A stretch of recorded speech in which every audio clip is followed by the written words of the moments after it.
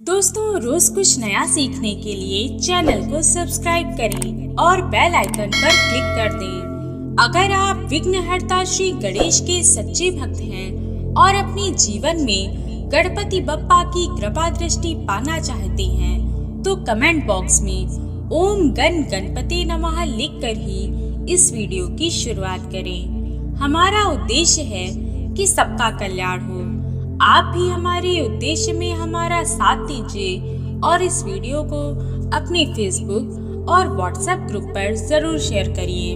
दोस्तों भगवान गणेश प्रथम पूज्य हैं, विघ्नहर्ता हैं। उन्हें प्रसन्न करने के लिए कुछ ऐसी वस्तुएँ हैं जिन्हें आप आपकी पूजा में ज़रूर अर्पित करते हैं। जब आप घर में आम दिनों में भी पूजा करते हैं तो भी उन चीज़ों को शामिल करते हैं। वे चीज़ें हैं दूरवा, लाल पुष्प, मोदक, लड्डू। ये सब भगवान गणेश को अर्पित किया जाता है ताकि वे प्रसन्न हों। लेकिन गणेश जी की कृपा मात्र कुछ पत्तों को अर्पित करके भी पाई जा सकती है। आज हम आपको एक छोटा सा प्रयोग बताएँगे, जिसे कर आप अपने जीवन की सारी परेशानियों से मुक्ति पा सकते हैं। अब चाहे वह स्वास्थ्य से जुड़ी हो, धन की हो खुशियों की हो या कोई मनोरथ पूर्ण करना हो। दोस्तों, भगवान गणेश को मंगल मूर्ति कहा जाता है, जिनकी कृपा से सभी कार्य पूर्ण हो जाते हैं। उनकी उपासना से हर प्रकार की बाधा दूर हो जाती है। चाहे वह संतान प्राप्ति की हो, शिक्षा की हो या फिर भाग्य की हो, भगवान गणेश की उपासना से कुंडली के अशुभ योग भी दूर हो जाते हैं। आज की वीडियो में हम आपको एक ऐसी चीज़ के बारे में बताएँगे, जिसे यदि आप भगवान गणेश को चढ़ा दें तो आपकी सारी समस्याएँ दूर हो जाएँगी और आपके सारे मनोरथ पूर्ण होंगे। ये बहुत सरल उपाय है, जो आप आसानी से कर सकते हैं। तो आइए जानते हैं उस उपाय को। दोस्तों, पत्ते कई प्रकार के होते हैं। और हर एक पत्ते का एक अलग रंग एक अलग खुशबू होती है। उसकी अलग सुगंध अलग ग्रह से जुड़ी होती है। आप पत्तों के रंग पर ना जाएँ, वह तो सबका समान ही है। लेकिन हर एक पत्ते की खुशबू ग्रह से जुड़ी होती है। और जब हम उन ग्रहों से जुड़े पत्ते भगवान गणेश को चढ़ाते हैं तो आपके ग्रह मज़बूत होते हैं और उस ग्रह के सभी दुष्प्रभाव दूर होने लगते हैं। खास करके भगवान गणेश को अलग अलग पत्ते को मंत्रों के साथ अर्पित करने से मनोवांछित मनोकामना पूर्ण हो जाती है तो आपको करना क्या है कि प्रत्येक बुधवार के दिन सुबह स्नान आदि वगैरह करके भगवान गणेश को ये पत्ते शुद्ध जल से साफ़ कर उन्हें अर्पित कर दें। सुबह शाम उनके समक्ष घी का दीपक जलाएँ और उनका प्रिय मोदक उन्हें ज़रूर भोग लगाएँ।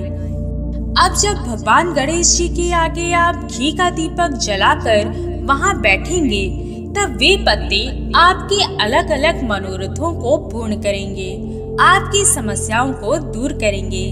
इससे पहले आपको एक बात बता दें, आपको एक प्रयोग कर लेना है।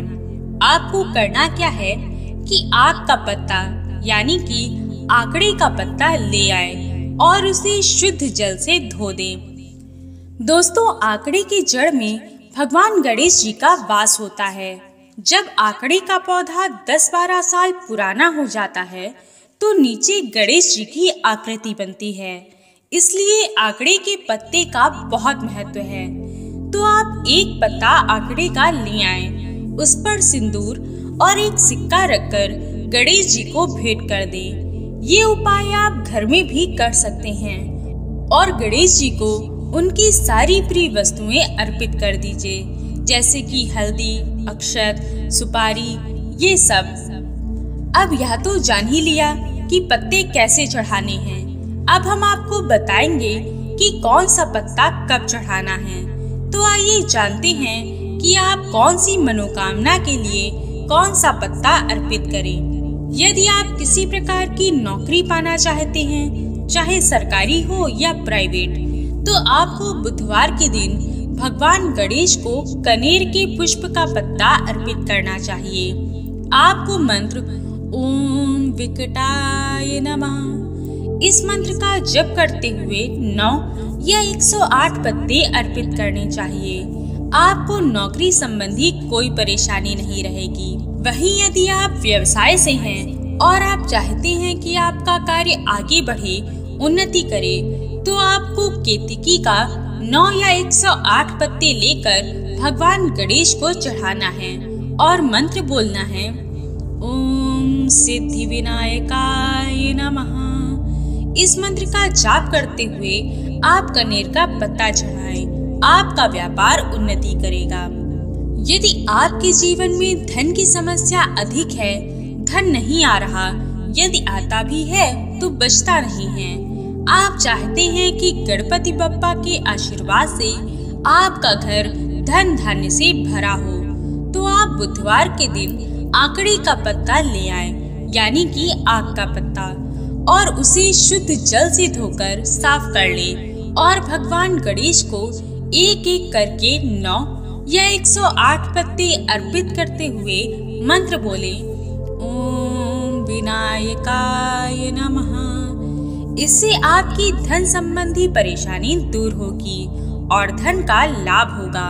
यदि आपको स्वास्थ्य संबंधी ज़्यादा परेशानी है आप स्वास्थ्य के कारण परेशान हैं, तो आपको एक काम करना है।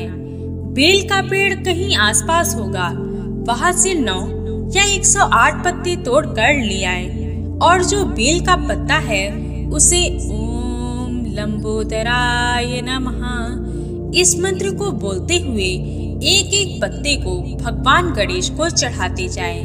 आपकी स्वास्थ्य से जुड़ी समस्या दूर हो जाएगी। वहीं आज के जमाने में लोगों को हृदय से जुड़ी समस्या बहुत हो रही है। हृदय रोग हो रहा है। या फिर बहुत ही गंभीर समस्या हो रही है। ऐसे में आप नौ या 108 अर्जुन का पत्ता ले लें और एक एक पत्ता अर्पित करते हुए बोले, ओम कपिलाय नमः। उससे आपको लाभ होगा।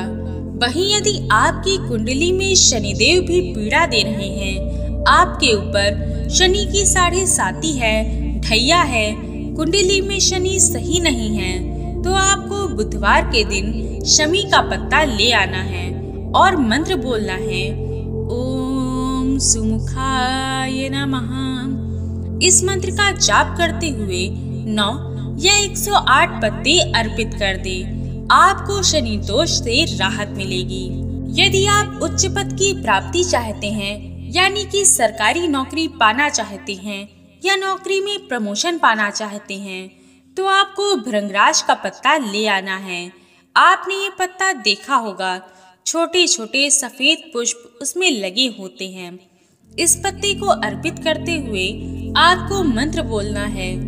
ओम गणाधीशाय नमः। इस मंत्र का जाप करते हुए कम से कम नौ या 108 पत्ते आपको अर्पित करने हैं। इस मंत्र का जितना चाहे उतनी बार जाप करें। कम से कम पाँच बार तो ज़रूर करें, या जितने पत्ते आपने अर्पित किए हैं, उतनी बार करें।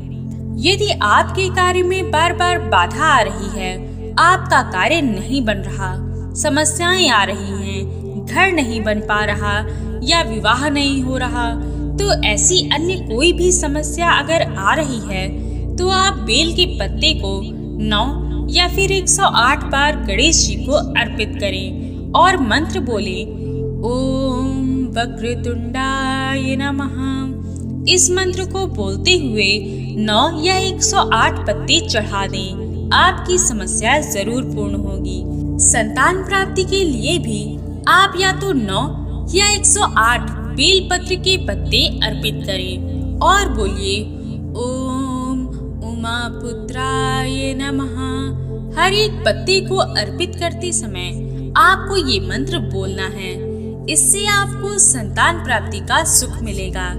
यदि आप जीवन में मान सम्मान यश की प्राप्ति चाहती हैं, तो आपको तेज पत्ता अर्पित करना चाहिए और मंत्र बोलना चाहिए ओम चतुर्दोत नमः। इस मंत्र का जाप करते हुए नौ या 108 पत्ते अर्पित करें। अब आपने आज तो इन पत्तों को अर्पित कर दिया। लेकिन अब उन पत्तों का होगा क्या तो आप अगले दिन यानी कि गुरुवार के दिन इन पत्तों को लेकर किसी पवित्र मिट्टी वगैरह में दबा दें। अगर आपकी नौकरी नहीं लग रही या व्यापार में कोई तरक्की नहीं हो रही या आप दूसरी किसी प्रकार की मुश्किल में हैं, तो आप एक छोटा सा काम करें जावित्री के फूलों को हर दिन भगवान गणेश जी को उनकी पूजा में भोग प्रसाद के रूप में चढ़ा दें और फिर एक चुटकी जावित्री का फूल लेकर खा लें। आपका भाग्य उदय हो जाएगा। तो बस इन पत्तों को हर बुधवार के दिन भगवान गणेश के चरणों में चढ़ा दें। आपको सकारात्मक प्रभाव देखने को मिलेगा। आशा है कि ये वीडियो आपको पसंद आई होगी। और भी जानकारी के लिए स्क्रीन पर दिखने वाली वीडियोस को भी एक बार अवश्य देखें। जय श्री गणेश। ओम गण गणपति नमः।